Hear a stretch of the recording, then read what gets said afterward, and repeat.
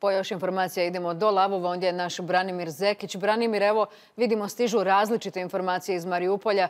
Što znamo o trenutačnoj situaciji ondje? Irena, trenutačno znamo da se vjerojatno vode posljednje ogorčene, one najteže bitke za Mariupolj, međutim u fokusu javnosti od sinoć ove e, sumnje da su se u Mariupolju koristili bojni otrovi. Sve je krenulo e, kasno sinoć kad je pukovni Azov na društvenim e, mrežama objavila da nekoliko njihovih pripadnika ima zdravstvene respiratorne probleme i da sumnjaju da su možda na terenu upotrebljeni bojni otrovi Čuli smo reakciju iz e, Britanije, britanske e, ministrice vanjskih poslova, međutim reagirao je i Pentagon. Glasnogovornik Jim Kirby kazao je da su e, Sjedinjene države i ranije upozoravale da je jedna od opcija Rusije upotreba kemijskog oružja, možda suzaca s nekim drugim kemikalijama. I Pentagon kao i Velika Britanija kažu da nastavljaju sustavno pratiti i kontrolirati što se zapravo dogodilo dogodilo na terenu. Tijekom jutra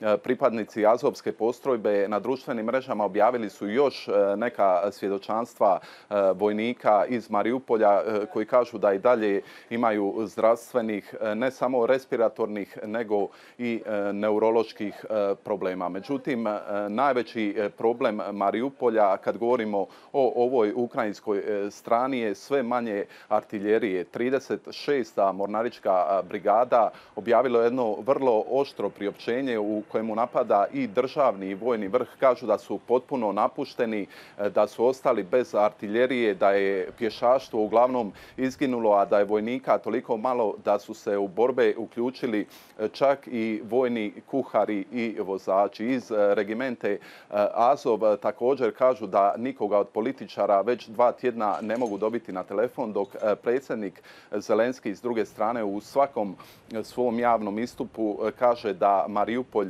nije zaboravljen. Međutim, e, s obzirom na dramatičnost ovih e, istupa ukrajinskih vojnika u Mariupolju morao se oglasiti i glavni zapovjednik ukrajinske vojske, general Valeri Zalužnji. On kaže činimo sve što je moguće i nemoguće da spasimo živote civila i vojnika. Međutim, napominje da vojne operacije ne bi trebale biti predmet javnih diskusija. Očito je da se uz ovaj e, teški krvavi e, rat e, na terenu vodi i onaj informacijski rat. Čuli smo da ruski separatisti tvrde da nisu počinili ovaj napad bojnim otrovima, međutim čuli smo i da je čelnik ruskih separatista u Donjecku jučer na ruskoj televiziji kazao da će takozvane kemijske trupe u Mariupolju napasti preostale ukrajinske vojnike koji su i dalje utvrđeni u velikoj e, tvornici Azov Stalj. Čini se da ih u drugim gradovima,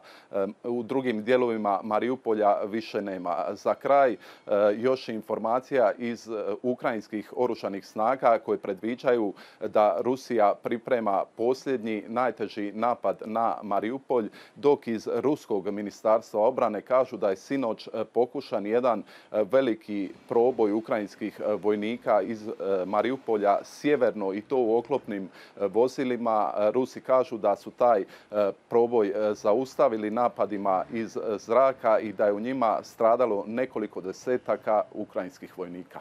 Brane, hvala ti lijepa na svim ovim informacijama koje prikupljaš na teritoriju Ukrajine.